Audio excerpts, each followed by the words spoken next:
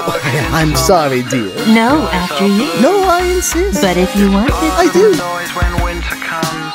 All right, oh, glad we had this talk. Candle. That's one vote, candle. 13th contestant voted out of Inanimate Insanity Invitational. Candle. Can I have that? Over my dead body.